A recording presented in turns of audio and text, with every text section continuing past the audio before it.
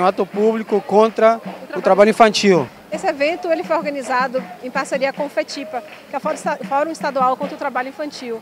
E além disso, Matias, a gente está com toda a rede aqui. Temos conselheiros tutelares, Ministério Público, Ministério Público do Trabalho, Defensoria e nossas, para nosso orgulho, nossas instituições conveniadas. A gente acabou de ver uma belíssima apresentação dos meninos da Cidade Mãe. Como que a senhora está vendo esse comecinho de gestão? Como é que a senhora encontrou a pasta?